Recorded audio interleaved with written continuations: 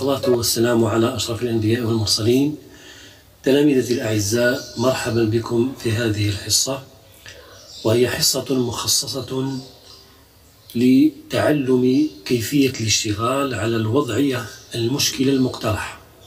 سنتعلم في هذه الحلقة كيف نشتغل على الوضعية المشكلة. أولا سنبدأ بوضعية لمدخل الاستجابة لمستوى الأولى إعدادي. والوضعية تقول سعيد تلميذ يدرس في المستوى السادس ابتدائي وذات يوم سأله أبوه محمد الذي يعمل نجارا فقال يا بني ما الغاية من فرض الله تعالى الصلاة والزكاة والصوم ومختلف العبادات على عباده؟ وما الفائدة منها إذ لم تؤثر في سلوكاتهم وأخلاقهم؟ فأجابه سعيد بأن تلك العبادات مجرد شعائر وأعمال تكرارية يقوم بها المسلمون في حياتهم اليومية ولا غاية ترجى من ورائها. فما موقفكم من جواب سعيد لأبيه؟ إذا هذه وضعية مشكلة بين سعيد وأبوه. أول شيء نقوم به بعد دراسة الوضعية أو بعد قراءة الوضعية لابد أن نخرج الحدث الرئيسي في الوضعية. والحدث الرئيسي هو ماذا؟ هو تساؤل أبو سعيد عن الغاية من مختلف العبادات. هذا هو الحدث الرئيسي في الوضعية. إذا أول شيء نقوم به تحديد الحدث الرئيسي في الوضعية. ثاني شيء نقوم به نخرج المواقف المتضمنة في الوضعية. أول موقف اعتقاد الأب أن العبادات لها غايات وتأثير على سلوك المسلمين. ثاني موقف اعتقاد سعيد أن العبادات لا غاية منها. إذا هذه مواقف اثنين موقف أب سعيد وموقف سعيد. إذا بعد تحديد الحدث الرئيسي والمواقف المتضمنة للوضعية نقوم بعد ذلك بتحديد إشكالية الوضعية.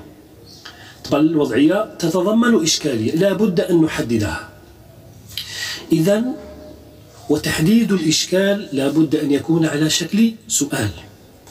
إذا إشكالية الوضعية هي اعتقاد سعيد أن العبادات التي فرضها الله تعالى لا غاية منها. هل هو اعتقاد صحيح أم خاطئ؟ أم خاطئ؟ اعتقاد سعيد أن العبادة التي فرضها الله سبحانه وتعالى لا غاية منها. هي روتين يقوم به المسلمون فقط. لا ترجى منه غاية. هل اعتقاد سعيد صحيح أم خطأ إذا بعد تحديد الإشكالية لا بد أن نعطي فرضيات أن نقترح فرضيات.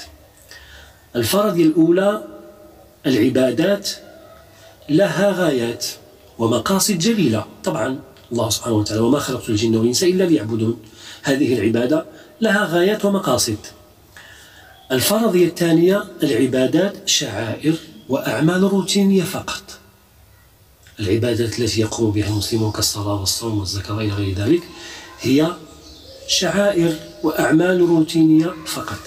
إذا هذه أو هكذا ندرس الوضعية المشكلة. أول شيء نحدد الحدث الرئيسي. ثاني شيء نخرج المواقف المتضمنة في الوضعية.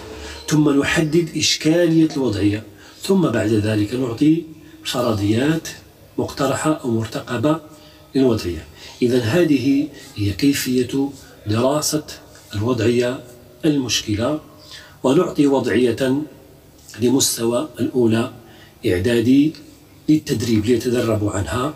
طبعا هذه الوضعية التي ترون أمامكم لابد أن تحددوا الحدث الرئيسي فيها ثم المواقف أن تخرجوا من المواقف المتضمنة ثم تحددوا إشكالية الوضعية ثم تعطونا فرضيات مرتقبة لهذه الوضعية. الآن نرى وضعية إشكالية مقترحة في مدخل الابتداء الرسول صلى الله عليه وسلم يناجي ربه الطائف إسراء والمعراج لمستوى الثانية إعدادي الوضعية تقول بقي يوم واحد على موعد الامتحان فتوقف أحمد عن المراجعة واجتهد في دعاء الله تعالى بأن يوفقه ويرزقه النجاح؟ فتعجب أخوه كريم من فعله وقال له الدعاء ينفع صاحبه في الآخرة كأن تدعو الله أن يدخلك الجنة ويغفر ذنوبك. أما في الدنيا فلن ينفعك فلن ينفعك في شيء. ما ما سينفعك هو اجتهادك. ما سينفعك هو اجتهادك وذكاؤك. رد عليه أحمد دعاء الله تعالى مهم وله تأثير كبير حتى في أمور الدنيا. إذا هذه وضعية. أول شيء نقوم به هو تحديد الحدث الرئيسي في الوضعية. والحدث الرئيسي هو ماذا؟ هو اقتراب موعد الامتحان وتوقف أحمد عن المراجعة للدعاء. عن المراجعة؟ والتجأ إلى الدعاء.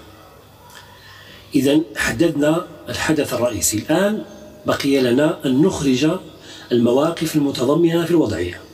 الموقف الأول وهو لأحمد وهو قوله الدعاء مهم وله تأثير في حياة الإنسان. الموقف الثاني هو لكريم وهو الذي قال فيه الدعاء ينفع صاحبه في الآخرة فقط. ولا تأثير له في أمور الدنيا. إذا بعد تحديد الحدث الرئيسي واستخراج المواقف المتضمنة الآن بقي لنا أن نحدد إشكال الوضعية.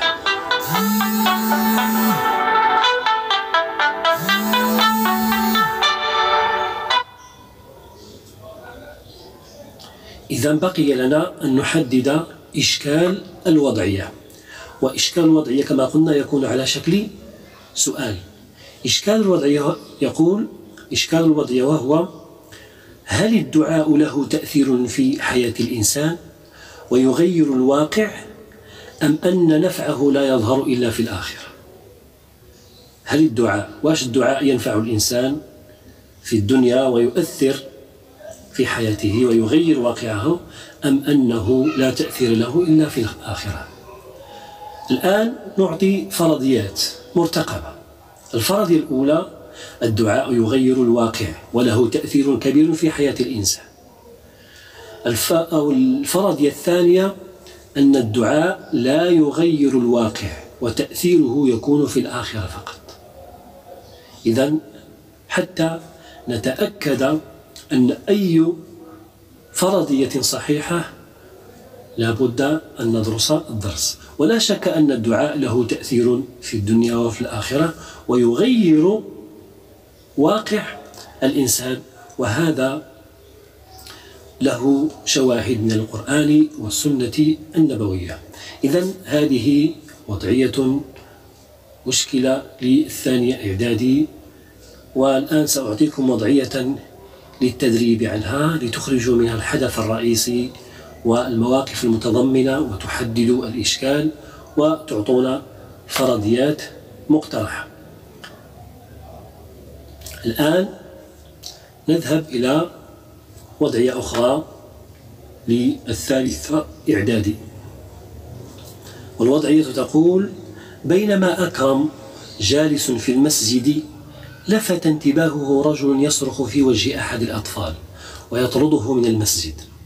فلما دعاه إلى السماح له بالصلاة ليتعلم كيفية أدائها وبعد أن بين له أن للمسجد أدوار كثيرة غير الصلاة رد عليه قائلا إن المسجد للصلاة فقط. ومن أراد التعلم فعليه بالمدارس.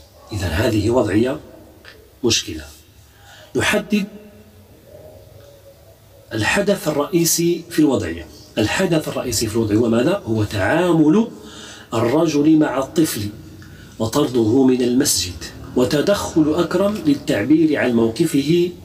نحو هذا التصرف. هذا هو الحدث الرئيسي. بقي لنا الآن أن نخرج المواقف المتضمنة في الوضعية. الموقف الأول وهو للرجل وهو أنه قال للمسجد دور واحد وهو الصلاة فقط. الموقف الثاني وهو لأكرم وهو أنه قال للمسجد أدوار كثيرة غير الصلاة. إذا الآن نحدد إشكالية الوضعية. الإشكالية الموجودة في الوضعية وهو هل للمسجد في الإسلام هل المسجد في الإسلام للصلاة فقط أم أن له أدوار كثيرة يقوم بها؟ هذه إشكالية لا بد أن نجيب عنها. الآن لنجيب على هذه الإشكالية لا بد أن نعطي فرضيات مقترحة. أو مرتقبة الفرضية الأولى المسجد في الإسلام للصلاة فقط. الفرضية الثانية أن المسجد في الإسلام له أدوار كثيرة ووظائف متنوعة وليس للصلاة فقط. المعروف إذا أي الفرضيات الأصح أو أن الجواب على إشكالية الوضعية. طبعا أن المسجد له أدوار كثيرة والشاهد أن النبي صلى الله عليه وسلم لما بنى مسجد أول مسجد في الإسلام وهو مسجد قباء طبعا كان المسجد للصلاة وللتشاور وللتذاكر ولمجموعة من الأشياء وللقراءة وللتعلم. إذا هذه كيفية للاشتغال على الوضعية. والآن سأعطيكم وضعية تتدربون عنها وهو أنكم تقومون بتحديد الإشك... بتحديد الحدث الرئيسي في الوضعية. ثانيا استخراج المواقف المتضمنة في الوضعية. ثالثا تحديد إشكالية الوضعية. وقلنا أن إشكالية الوضعية تكون على شكل سؤال. ثم رابعا أن نعطي فرضيات مرتقبة لحل هذا الإشكال. إذا أتمنى أن تكونوا قد استفدتم وأرجو الله سبحانه وتعالى أن يوفقنا وإياكم. والسلام عليكم ورحمة الله تعالى.